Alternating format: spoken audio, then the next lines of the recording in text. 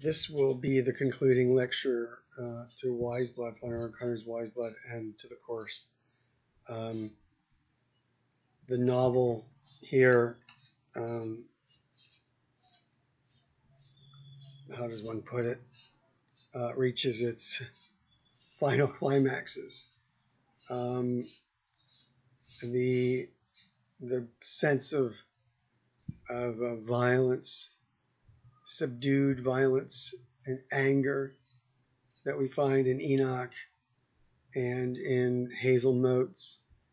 Um, finally bursts forth in an explosion of of murderous acts, um, which in some ways I think surprises many people when all this happens, and and the the, the way the, the descriptions of the of the of the the killings in some ways they're so matter of fact and part of the strangeness of O'Connor's sort of very straightforward, almost factual representation of activities and actions, human actions and feelings and emotions, uh, is kind of shocking uh, and and mysterious. Um, the title of that book, Mystery Manners, of all of her essays, um, the way in which, from from the inner source of emptiness and anger that's been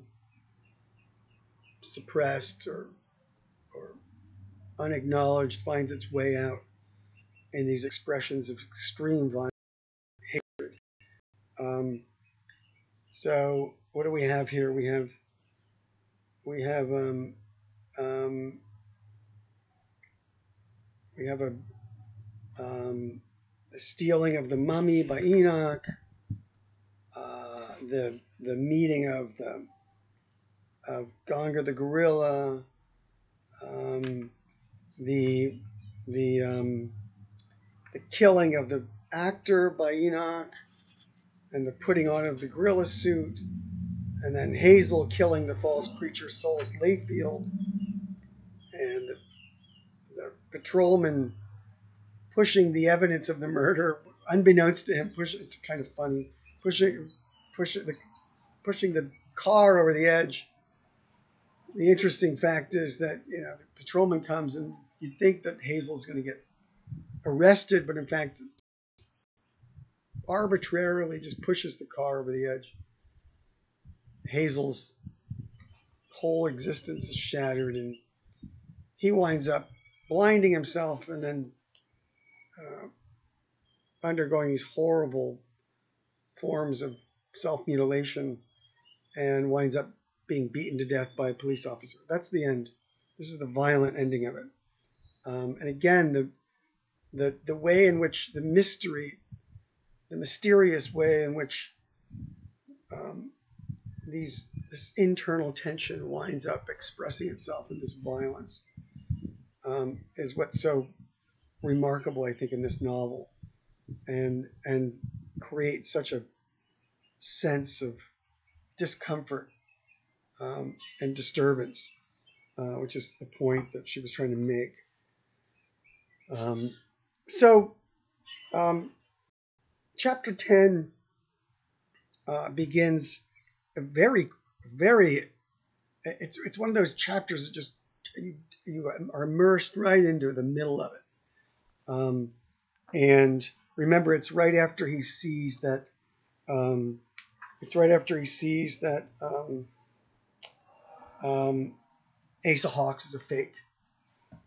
So I'm going to read the read the way the chapter begins. The next night, Haze parked the Essex in front of the Odeon Theater and climbed up on it and began to preach. Let me tell you what I and this church stand for, he called from the nose of the car. He looks just like his grandfather, right? the perch of the car, yelling at people. Stop one minute to listen to the truth because you may never hear it again. He stood there with his neck thrust forward, moving one arm upward in a vague arc. Remember, the power is in the neck and arms of the preacher. Two women and a boy stopped. I preach there are all kinds of truth your truth and somebody else's truth, but behind all of them, there's only one truth and that is that there's no truth, he called. No truth beyond all truth is what I and this church preach. When you, where you come from is gone, where you thought you were going to was there to, to never was there, and where you are is no good unless you can get away from it. Where is there a place for you to be? No place. Notice the, the, way he's trying to eradicate every sense of, of oneself, one's past, um, one's future, one's present. Of course, he, the, the, the problem is he can't escape his past. He never will. It all it just to try to escape your past is to relive it constantly in in forms of of, of explosions, right? Uh, of Freud was right about this, right? The, the, the way the compulsion to repeat past traumas that are never that are never fully worked through. They are always there. Haze is just spouting a complete psychological falsehood. Nothing outside you can give you any place. He should realize that, right? look inside. You needn't look at the sky because it's not going to open up and show you no place behind. You need to search for any hole in the ground to look through into somewhere else. You can't go neither forwards nor backwards into your daddy's time nor your children's if you have them. Right? You'd like to go back into your parents' past and change it. Maybe, maybe you can fix it. Um, if you've never seen the film Back to the Future, you should. I just watched it with my children. It's brilliant. It's a brilliant uh, movie about therapy. The, the, the, the son goes back in time, is able to help the father and help betters his own life. It's, it's brilliant film, all about trauma. If there was any fall, look there. If there was any redemption, look there. And if you expect any judgment, look there because they all three will have to be in your time and your body. And where in your time and your body can they be? This is brilliant. Where in your time and your body has Jesus redeemed you? Show me where because I don't see the place. There was a place where Jesus had redeemed you, that would be the place for you to be, but which of you can find it? Right? So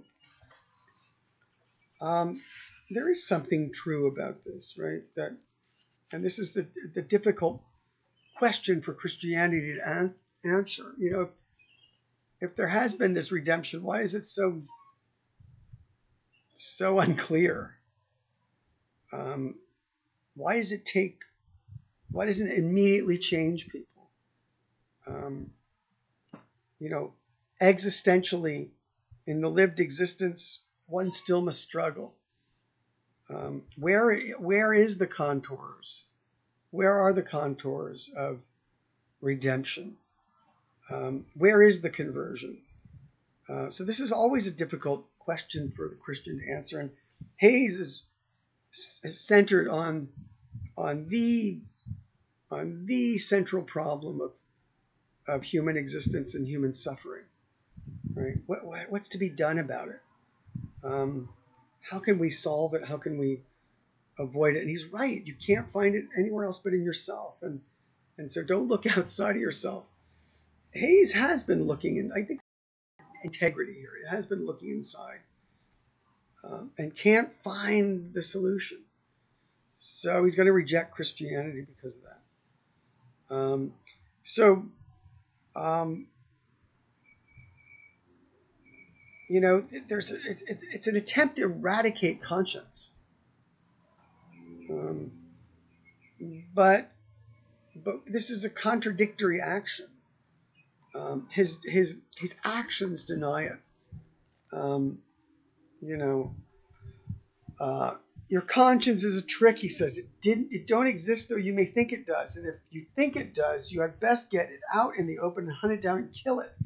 Because it's no more than your face in the mirror is or your shadow behind you. That is a very straightforward, kind of hokey, um, brilliant uh, articulation of Freud's own theory of the super superego is simply a projection of one's own morality as though it were real. Um, once one realizes that that your moral, your guilt, your shame, is merely a projection that you've created, you've imbibed from others and have projected onto the world, then you're free. You're free of all moral constraints. Um, this is a brilliant, dramatic depiction of Freudian of Freudian psychoanalysis, um, and and O'Connor has has has really sort of you know dramatized this, um, and she's going to dramatize the way it, at least for her, the way it fails. Um, so, the arrival of Hoover Shoats, Onnie Jay Holy, right, in a new with a with a Motes lookalike, right, uh, teaches this self redemption in the Holy Church of Christ. Um, and uh, Hazel hates this because um, he realizes that you can't, if, if things are whacked out, if things are broken, you're the broken one. You can't fix yourself. So there's no self redemption. Hazel's not going there either. Um, you have to deny completely that there's anything wrong. So you see how far down, how deep down Hazel has gone in trying to eradicate Christ into the self, into the conscience. Get rid of conscience, and there's no more need for Christ and Christ's redemption and Christ's judgment. Um, so Hazel returns to his room, finds Sabbath in his bed. She's been abandoned by her father, um, and she she begins to despise. She, she hasn't despised him now, she's she's she really does. Um, and and this is a sad, sad scene. Um, he comes in. Haze leaned down and began untying his shoes. They were old army shoes that he had painted black to get the government off. It's brilliant. Right? It's just one little line there shows how much he hated the army and the government and what it did to him. He untied them and eased his feet out and sat there looking down while he watched him cautiously. Are you going to hit me or not? she asked. If you are, go ahead and do it right now because I'm not going. I ain't got any place to go. This is a horrible situation where, you know, she'll even tolerate abuse, physical abuse, because there's nowhere to go. This is a typical form of dysfunction. He didn't look as if he were going to hit anything. He looked as if he were going to sit there until he died. Listen, she said with a quick change of tone. From the minute I set eyes on you, I said to myself, that's what I got to have. Just give me some of him. I said, look at those pecan eyes and go crazy, girl. That innocent look don't hide a thing. He's just pure filthy right down to the guts like me. The only difference is I like being that way and he don't. Yes, sir, I like being that way and I can teach you how to like it. Don't you want to learn how to like it? Um, so um, she's a Sabbath is a deep danger to Hazel.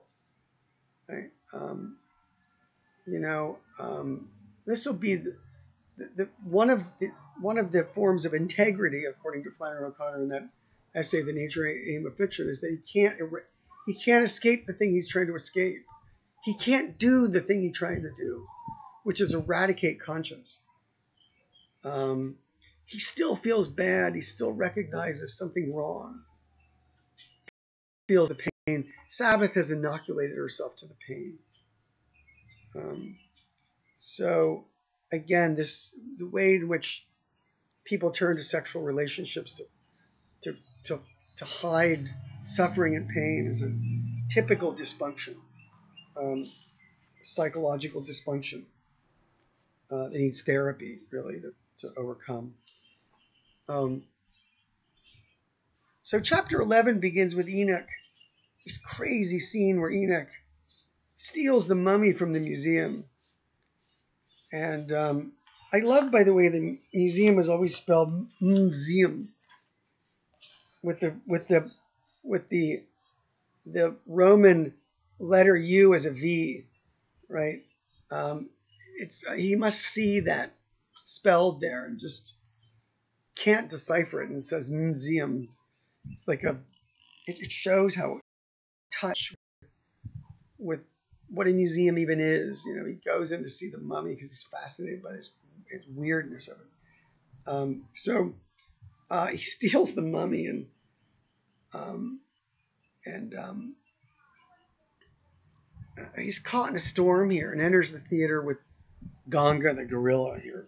Um, you know, um, you know this life-size picture of Gonga the gorilla. Um, so um, a Gonga will appear at 12 a.m. today. A free pass to the first 10 brave enough to step up and shake his hand, right? Um, so we get we get we don't get the exact contours of Enoch's internal thinking process, but we get Flannery O'Connor sort of pointing to it. Uh, this is funny and horrible at the same time. It's on page 178. Enoch usually was usually thinking of something else at the moment that fate began drawing back her leg to kick him. Fate with a capital F, right? We've got again Oedipus and all the problems of fate flooding in here. Um, given Enoch's lack of rational appropriation of his own instincts, of course this is fated. Um, he can't control it, so it might as well be fate. When he was four years old, here's the here's the here's the explanation. One scene. She doesn't paint it. She doesn't talk about the dysfunction and the trauma and the neglect and the physical abuse, right? Enoch from physical abuse. No, he gives. She gives one scene that paints a picture. When he was four years old, his father had brought him home a tin box from the penitentiary. Penitentiaries. Father was in the state penitentiary. He's a violent criminal. It's all we need to know about Enoch's upbringing. Think how brilliant and how quick, how concise O'Connor gives us these details. This is great writing. It was orange and had a picture of some peanut brittle on the outside of it, and green letters that said, A nutty surprise. When Enoch had opened it, a coiled piece of steel had sprung out at him and broken off the ends of his two front teeth. This is four years old. This is his father. That's a gift for him. His life, this is horrifying? This is a horrifying, this is the fun part of his life. Imagine what happened when he wasn't trying to give him a gift. Right? His life was full of so many happenings like that that it would seem he should have been more sensitive to his times of danger. He should have been. How can he? Right? There's no there's no perch for reflection. There's no there's no moment of equipoise where Enoch could possibly have come to grips with himself and had a moment to reflect on himself.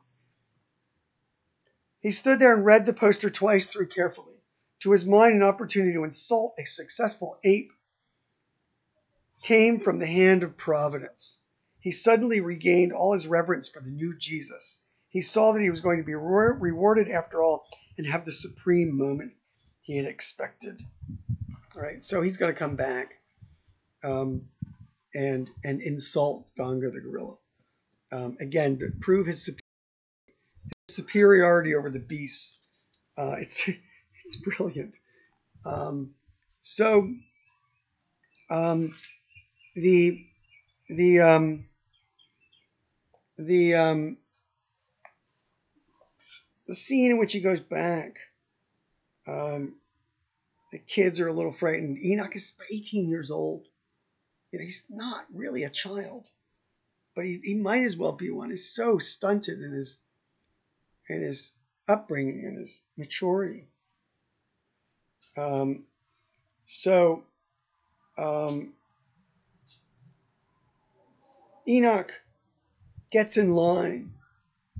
Um, this is at page 181 um, he's afraid.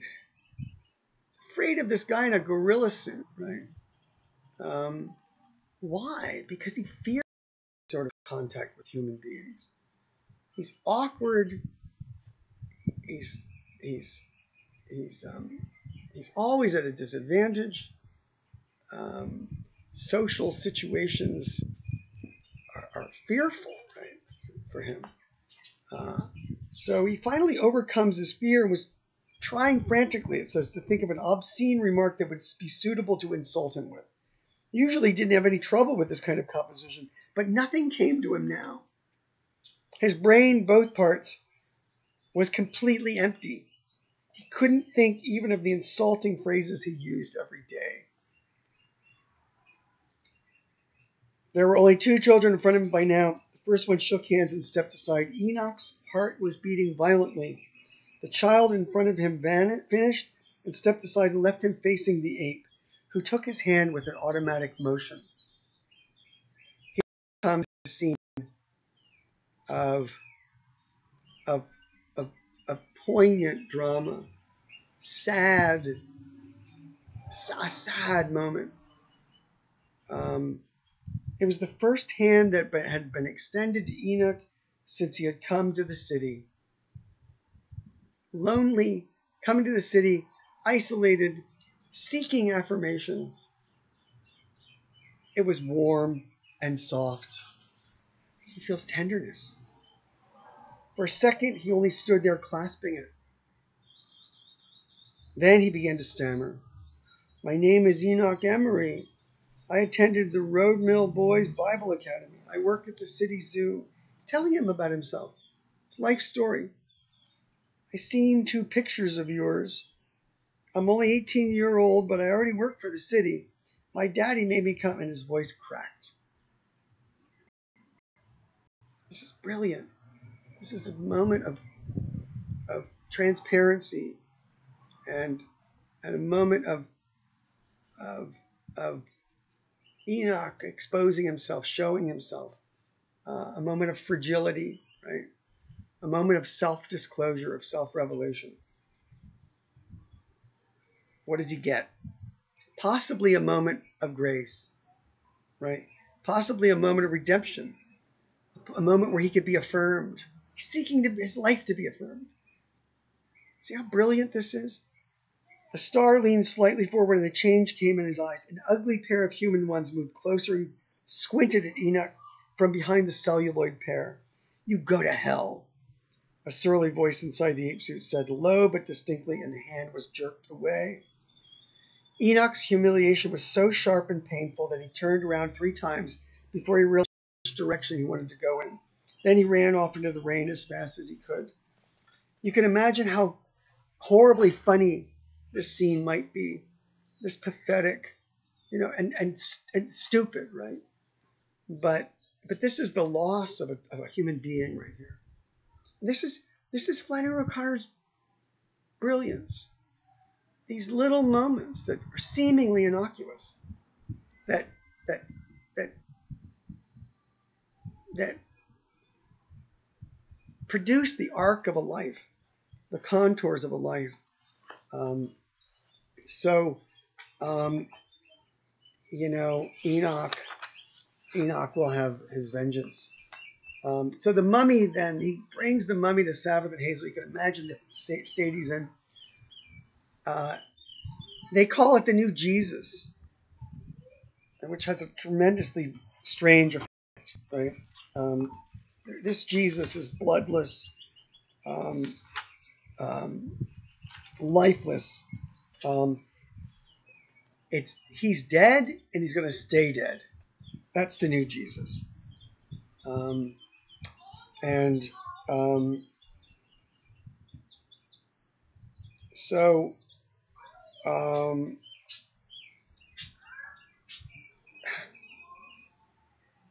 Sabbath is fascinated by it.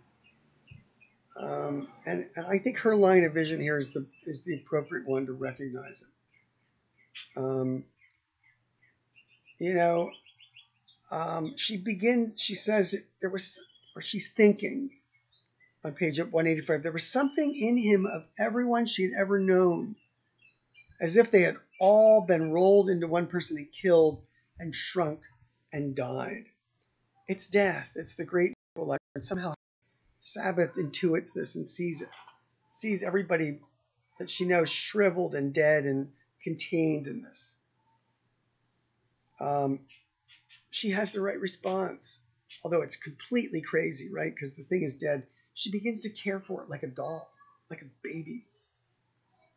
Um, and the tenderness that she shows this shows the depth of her desire to love and her desire to, to be loved.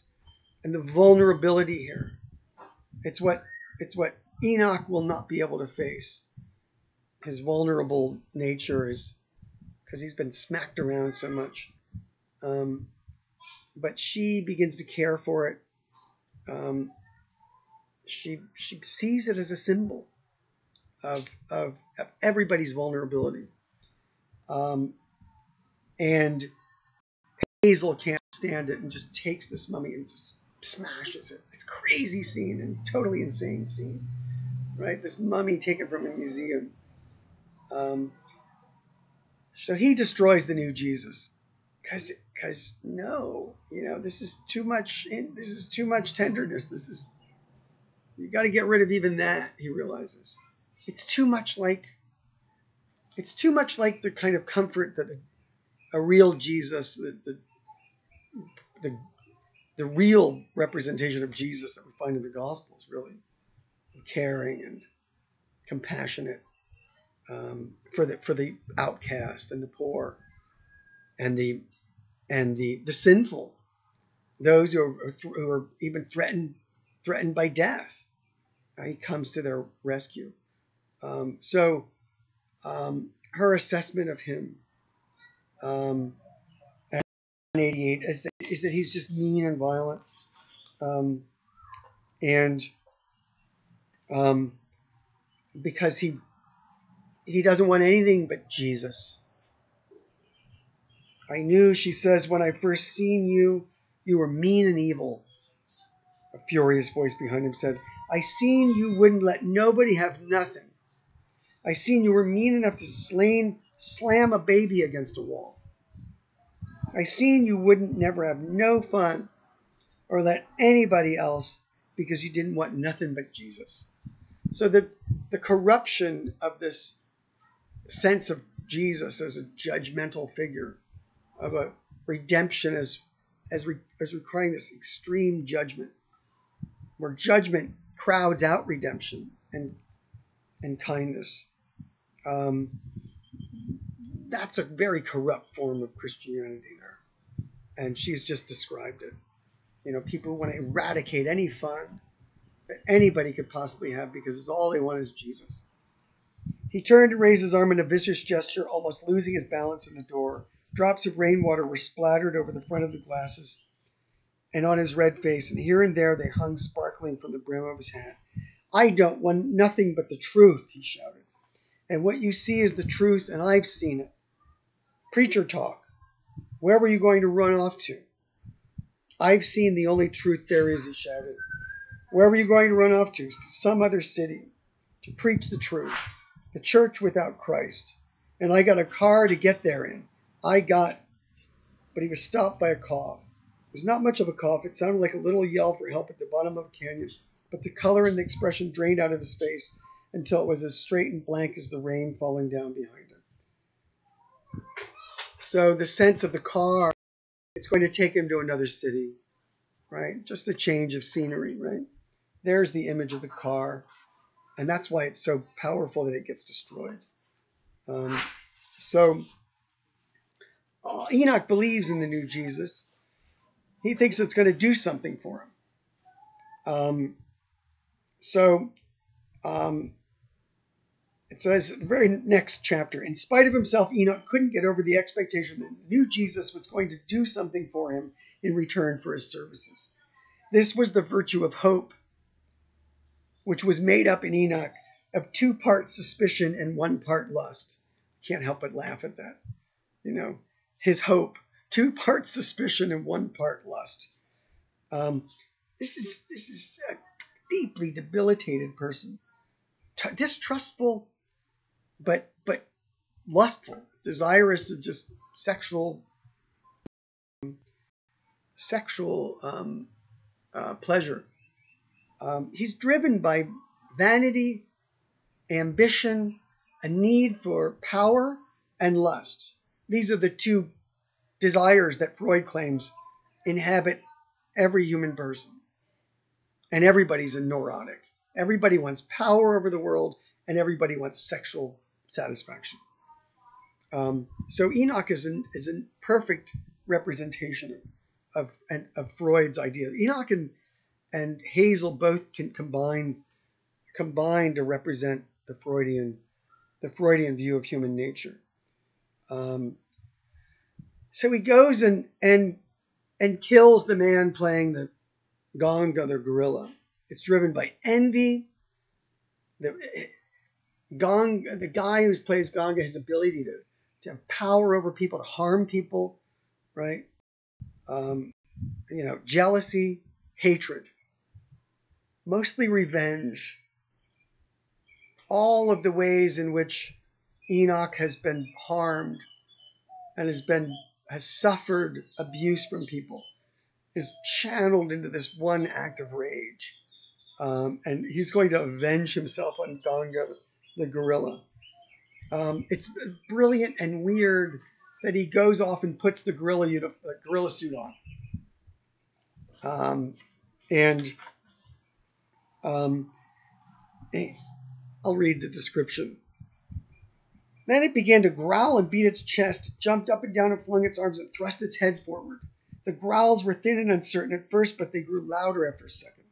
They became low and poisonous, louder again, low and poisonous again. They stopped altogether. The figure extended its hand, clutched nothing, took its arm vigorously. There's the action of trying to shake hands. It withdrew the arm, extended again, clutched nothing, and shook It repeated this four or five times, the compulsion to repeat that moment of trauma. He's in the gorilla suit. He's going to shake the hands with the absent Enoch, right? And, and make up for it and affirm his existence. Then it picked up the pointed stick and placed it at a cocky angle on its arms and left the woods for the highway.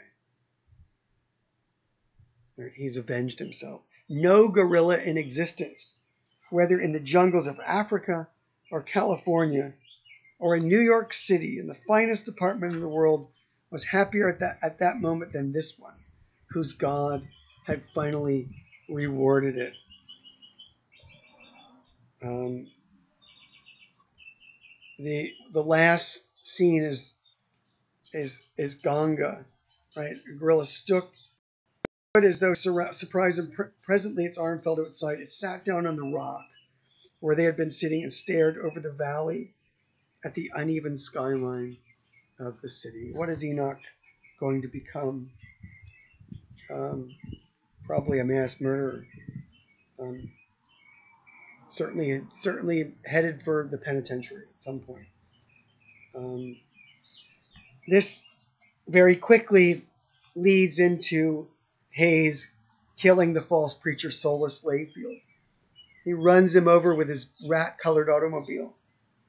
Uh, looking over his dead body, um, you know, um, by the way, he has him take off the suit that that is that the suit is made to look like Hazel. It makes him take off the suit. He, he, he's he's he's running out of his pants. It's humiliating, right? His, his underwear. Um, I'll read the passage because it's so funny and horrible at the same time. The prophet began to run in earnest. He tore off his shirt and unbuckled his belt and ran out of his trousers. He began grabbing for his feet as if he would take off his shoes too, but before he could get at them, the Essex knocked him flat and ran over him. Haze drove about 20 feet and stopped the car and then began to back it. He backed it over the body and then stopped and got out. The Essex stood half over the preach prophet the idea that he, he, she continues to name him the prophet is brilliant, as if it were pleased to guard what it finally brought down. The man didn't look so much like Haze, lying on the ground on his face without his hat or suit on. A lot of blood was coming out of him and forming a puddle around his head. He was motionless, all but for one finger that moved up and down in front of his face, as if it were marking time with it. Haze poked his toe in his side and he wheezed for a second and then was quiet. Two things I can't stand, Haze said. A man that ain't true and one that mocks what is. You shouldn't you shouldn't have ever have tampered with me if you didn't want what you got. So that this, this, integrity of Haze is quite weird and strange. Um, this craving for honesty, uh, when it when it is in a dysfunctional human being like Hazel, produces um, deep forms of of dysfunction um, and yeah uh, dysfunction I, was, I stopped i paused there because my children came running in and i didn't want you to hear them. Dysfunction is one word this is more than dysfunction this is this is a, pathology right? Psycho psychopathology.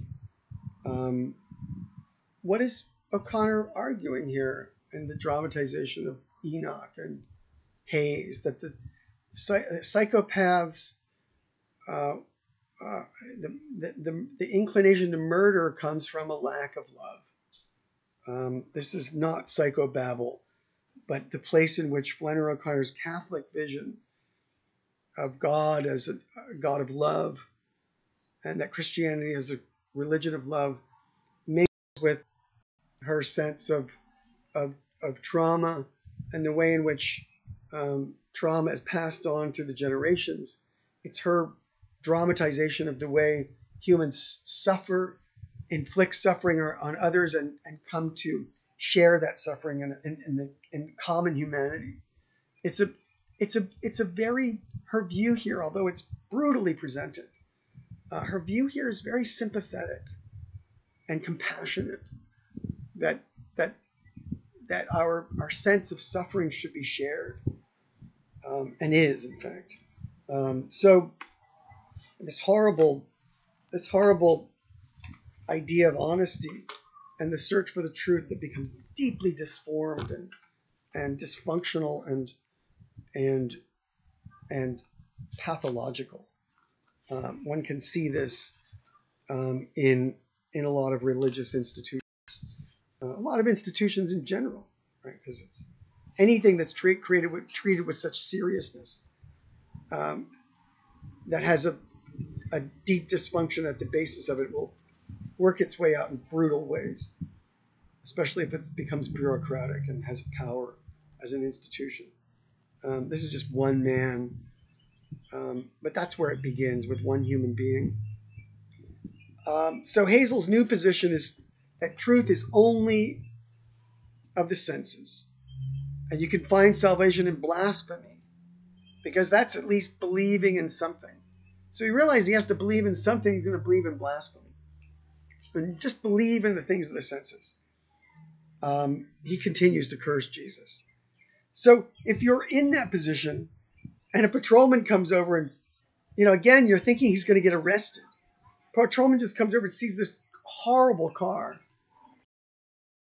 pushes the Essex over, over a cliff, right, over a hill um, is brutally humorous. I'll read it.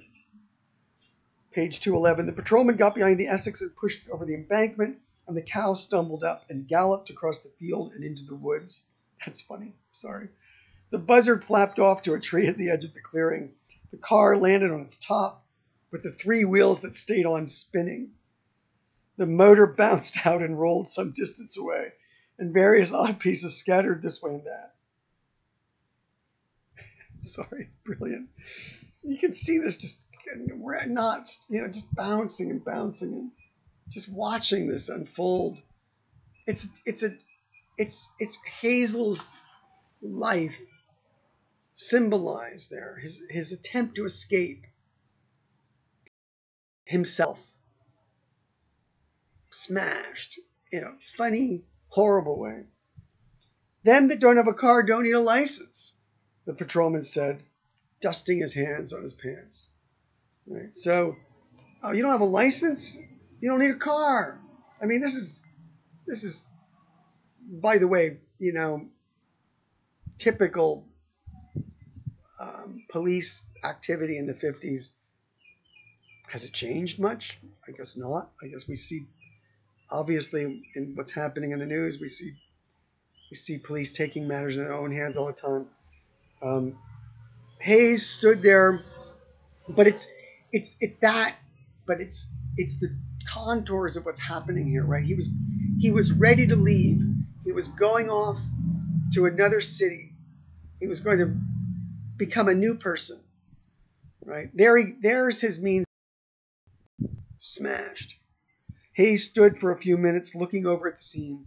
His face seemed to reflect the entire distance across the clearing and on beyond, the entire distance that extended from his eyes to the blank gray sky that went on depth after depth into space.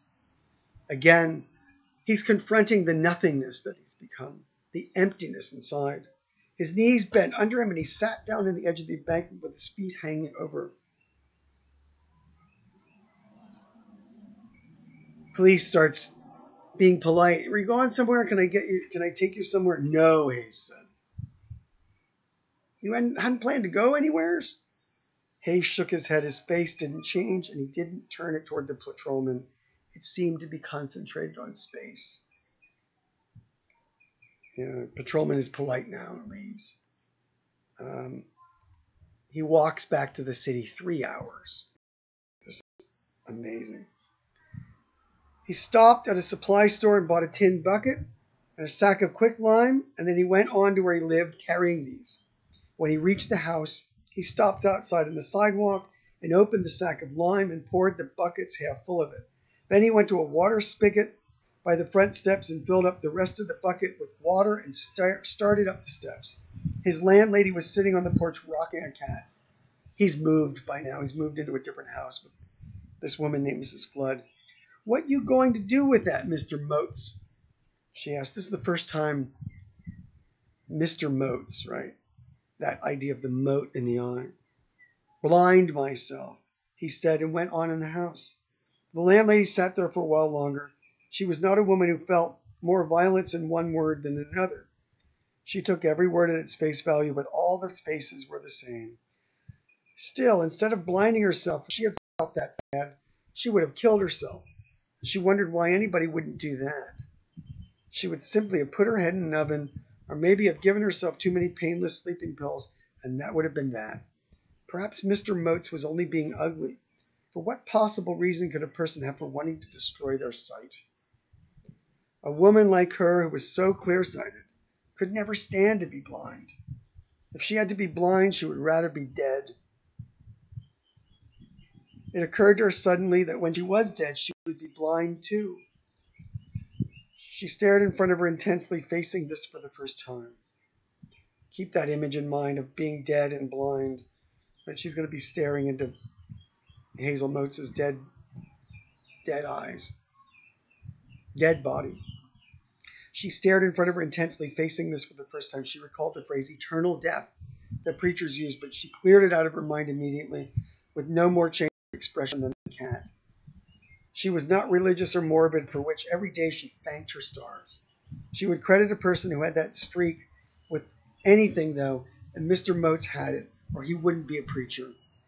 He might put lime in his eyes, and she wouldn't doubt it a bit, because they were all, if the truth was only known, a little bit off in their heads. What possible reason could a sane person have for wanting to not enjoy himself anymore? Certainly she couldn't say. So that's the run of the mill normal way of thinking about things. Um, you know, just um, being comfortable, put it all this stuff out of out of her mind, out of your mind. Hazel, to his credit, has the integrity, can't do it. Um, so this leads us to the final chapter. Um, she wants to possess things. She wants comfort. Uh, Haze represents a desire for something she um, even with his blindness, it looks like he's looking at something. The blind man had the look of seeing something to Mrs. Flood. Um, so the landlady thinks of him as a monk, right? Um, and um, he says he doesn't doesn't have time to preach anymore. Um, and it turns out that he's got glass in his shoes. Uh, he's wearing barbed wire around his chest, um, and um, and he's a- she asks him why why he's doing this, um, and she says, he says at page two twenty six, um, to pay, simply to pay. He calls the barbed wire around his chest. Why does he do it? I'm not clean. Uh, so this, she thinks of him as a monk, a throwback to the 13th century, um, some medieval form of chastisement um, that um, that um, he's performing, and of course, in some sense, it is. Um, let's see a passage. Um, there's a funny passage where, um, where where she points this out. People don't do it, and um, um, he says um, he says, "Well, I do." Um, so too bad. Um, you know. Um, so, oh yeah, people have quit. What do you do it for? I'm sorry, I'll read the whole passage. Well, it's not normal. It's like one of them gory stories. It's something that people quit doing, like boiling in oil or being a saint or walling up cats. There's no reason for it. People have quit doing it. They ain't quit doing it as long as I'm doing it. It's brutally funny. People have quit doing it. What do you do it for? I'm not clean. I know it. You got blood in that nightshirt and on the bed? That's not the kind of clean he means. Uh, there's only one kind of clean, Mr. Motes. Clean cleanliness of the body, right? And he's he's not clean inside. His spirit is corrupt, um, and um, and this is what he's he's he instinctually recognizes that he has to undergo this this brutal form of self torture um, as a form of as a form of um, of penance. Um, so Mrs. Flood, being the practical person that she is, starts to realize that that you know he is kind of crazy, but he needs somebody to take care of him, and she'd like his paychecks that are coming from the government. Um, and um, she kind of proposes to him, and um, she, he rebuffs her. Of course, he's got no interest in this, and um, and in in a fit of anger, um, she throws him out. She throws him out in an ice storm. Uh, again, the the sense of dysfunction here. Um, um, um, uh, um, what what starts off as a need that, when not met, becomes an act of violence and pain for another person. Um, so um, um, so the the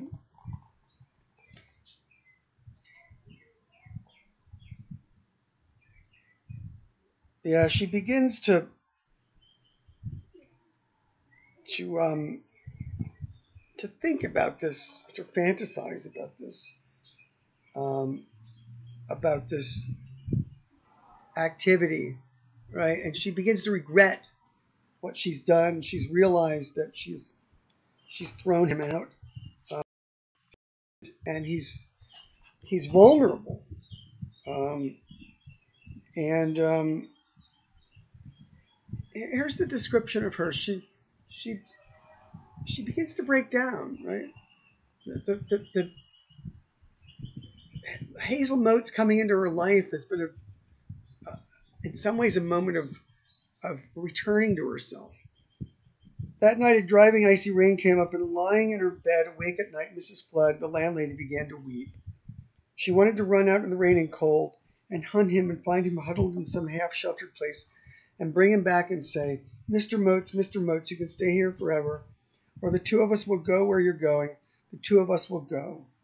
She had had a hard life without pain and without pleasure. And she thought that now that she was coming to the last part of it, she deserved a friend. The hard life without pain and without pleasure. You know, pain does not necessarily, in suffering does not necessarily preclude happiness. We want to get rid of pain as much as we can, but that's that's that's generally not the way things work. Um, so th- this moment of Hazel coming into her life has sort of opened her in a way to vulnerability. If she was going to be blind when she was dead, who better to guide her than a blind man? Who better to lead the blind than the blind who knew what it was like? Um, so she tries to look for him, um, and and two days later, um, you know that policemen find him laying laying in the he's homeless. Um, the police, when he doesn't get up, crack him in the head with their nightsticks, um, and um, you know they they um,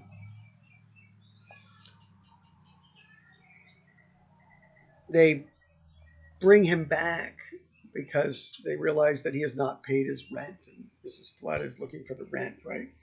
Um, so um, the irony of this is that her own actions have led to pretty much led to his death, right? Um, so I'll just read the last section of this, which is, you know, painful, tremendously. There's nothing funny about this, about this the tragedy that's unfolded. Um, he died in the squad car, but they didn't notice and took him onto the landlady's. She had them put him on her bed, and when she had pushed the pushed them out the door, she locked it behind them and drew up a straight chair and sat down where she could talk to him. The kindness here. Well, Mr. Motes, she said, I see you've come home. His face was stern and tranquil. I knew you'd come back, and I've been waiting for you. And you needn't to pay any more rent, but have it free here, any way you like, upstairs or down, just however you want it, and with me to wait on you. Or if you want to go on somewhere, we'll both go. She had never observed his face more composed, and she grabbed his hand and held it to her heart. It was resi- resistless and dry. The outline of a skull was plain under his skin, and the deep burned eye sockets seemed to lead into the dark tunnel where he had disappeared. This is the moment of emptiness and the moment of revelation and disclosure. Again, the third moment where somebody is looking into somebody else's eyes. She leaned closer and closer to his face, looking deep into them, trying to see how she had been cheated or what had cheated her. She's been, it's her own loss she's worried about, but she couldn't see anything. She shut her eyes and saw the pinpoint of light, but so far away that she could not hold it steady in her mind. She felt as if she were blocked at the entrance of something. She sat staring with her eyes shut into his eyes and felt as if she had finally got to the beginning of something she couldn't begin. And she saw him moving farther and farther away, farther and farther into the darkness until he was the pinpoint of light. So, um, what to say about this um, this moment, right? The the final moment in which in which we have a almost a the first positive movement in the whole novel of some insight, right? She sees a this she's a she's looking into his eyes and and in the emptiness there, in the blindness, she recognizes something beyond a pinpoint of light. Um, it's obviously her his whether imagined or not, right? Um, some representation of his soul, of he, what he is, this pinpoint of light entering the darkness, right? And and she's through her through her sense of concern for him, through sympathy for him, she begins to feel for him and sees him slipping away. Um, and and the retreat into death, the coming face to face with a dead man who she's cared for opens her up. Um, but again, it's the beginning of something she can't fathom. Um, this mystery, um, beginning of something she couldn't begin. She saw him moving farther and farther away, farther and farther into the darkness until he was the pinpoint of light. Right? This this one moment of of of light and um, positivity. That's all we get. Jen and Flannery O'Connor. We get nothing more than this um, in her writings. Um, she talked. Hang on a second. So yeah, the the mystery, right, um, is what O'Connor has has brought the drama of the novel to. Um, it it doesn't say that there's it doesn't affirm anything positive there. It affirms the need for something like redemption uh, to make sense of a brutal world, um, a world in which we all participate in the violence of of um, of negation, right? So the moment of negation led to that point of emptiness is the point at which something positive might begin. Uh, the, the moment of need and recognition um, leads to the moment of, of seeking something beyond what's what, what we find in the appearance of things. Um, I'll leave with a comment. This is the first thing she wrote, and she started writing short stories, as I pointed out. Um, she was she was um, aware of the limitations of her of her writing um, at the end of her life, and and in a letter that I've read um, to a friend of hers, she said, "I realized that I just do the grotesque and the violent, um, and the beautiful, um, which is usually the subject matter of art." Um, she says, I, have never really done that." Um, and um, it's not that she was incapable of doing it. Um, it's that her preoccupation was with was with showing to a world that didn't accept either the principle, either the idea of sin or redemption, right? Morality or its possibility of being reclaimed, right? Um, so she she wrote in these distorted ways to sort of convince, try to convince people the need for redemption. That's so. So she thought she she thought at this point, right after she wrote one of her greatest short stories um, called Revelation, um, uh, she thought she should try to do something different, a more positive representation of human nature. Uh, she became really, really sick with lupus and no longer could write and then died. So, a kind of interesting way of thinking about this. She doesn't, this isn't a, a, an obsession with her for the sake of being brutal or because she's pathological or because she has a fascination with, with the ugly and the evil. Um, but um, that she, she, um, she a certain need in the culture to write this way, and um, it would have been it would have been I'd I'd give a lot to know what kinds of stories she would have written that would have been tender and beautiful and and filled with something positive. Uh, but we've never or left just wondering. Um, so I'm going to leave you with that thought. Um, and uh, conclude the, the course of lectures with, with that idea. Uh,